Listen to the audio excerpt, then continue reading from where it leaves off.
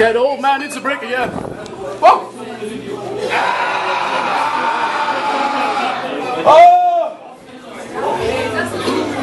Oh! Is it Christmas this Wednesday? It's Christmas. Is it Christmas this Wednesday? It's heiß. How do you say Merry Christmas in German? Christmas is Okay. I can't pronounce it, but yeah. The same for you. Nur feste Woche.